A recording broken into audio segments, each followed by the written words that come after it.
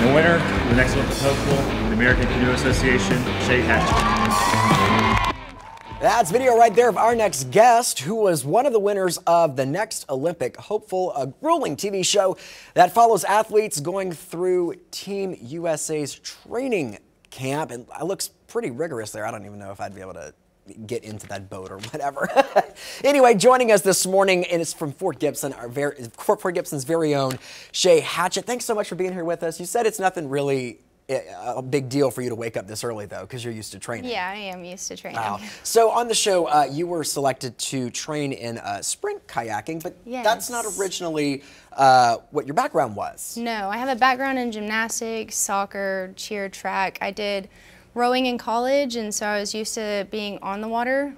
Gotcha. So, yeah. So it just kind of you naturally fell into it. How did you get into sprint kayaking? Yeah, so through the TV show The Next Olympic Hopeful, it's a scouting camp, and it's basically looking at it's a talent identification program that is looking for talent outside of the normal recruiting processes.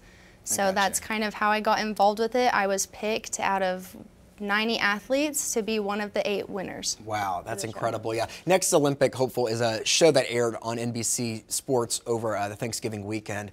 Uh, got some pictures from it there. And, and now you started out uh, as one of 3,500 applicants. Like you said, 90 were selected to go on the show. Just kind of talk about that experience and, and kind of what that whole process was like for you. Yeah, so I graduated college from the University of Central Oklahoma in Edmond and that was in May of 2018. And then after that, I was like every other senior in college, like, what's next? Yeah, what do I do now? Yes, and so I applied for the next Olympic hopeful because I've always had an Olympic dream and ended up getting accepted out of almost 4,000 applicants.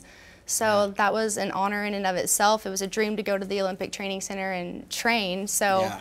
Yeah, so uh, to be picked as a winner for the sport of sprint kayaking, something I've never done before, has been a huge change in my life, but it's been a positive change. Yeah, absolutely. And, and then, you know, after the show, uh, you moved to Georgia to train yes. uh, for the Tokyo 2020 Olympics. And uh, I think we have some video of your, your time there uh, with the uh, team camp. So how how was that training? I mean, I, I mean, I can't imagine you know the, the stamina that you have to have to, to get through these things. You know, did how how hard was it, and what, what kind of surprised you by being there? Yeah, so my coach just keeps telling me, you know, I'm waiting for you to plateau. You know, because You're just getting better and better and I, better. I yeah. keep climbing because this is such a new process. You know, they've never had an athlete come from different backgrounds and try to make them into an Olympic athlete, you yeah. know, in a short couple short years. So uh, this is a different process, but it's an exciting process for sure. Yeah, and so what's next for you? When is qualifying? You know, how does all of that work? What's the next step? Yeah, so I actually leave for a training camp in San Diego, California to train with some of the national team members.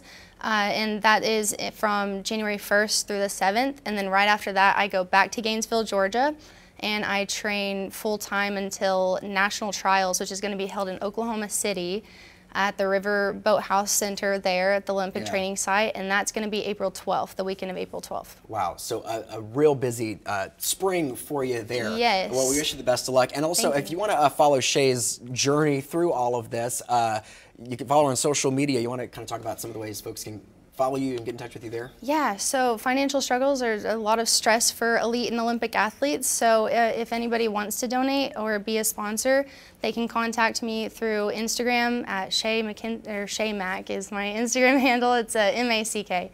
And uh, yeah, you can follow me there and find the link to the GoFundMe. Awesome. Well, yeah. thanks again for, and like we said, waking up early isn't a big deal for you, but thanks for coming into our studio this Thank morning. Thank you for having me. Once again, Shaye Hatchette, the next Olympic hopeful. Maybe you might be seeing her on the Olympics one day winning a gold medal. Who knows? thanks for being here with us.